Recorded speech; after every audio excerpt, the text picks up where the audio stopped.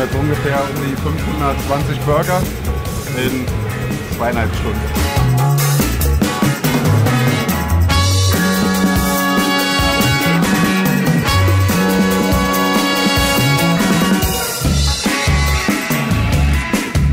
Ich würde auf jeden Fall 1, 2 Euro dafür mehr bezahlen, wenn, das dann, wenn ich dann wüsste, dass es klimafreundlich wäre. Wenn die direkt nebeneinander liegen, würde ich auf jeden Fall das dann eher kaufen.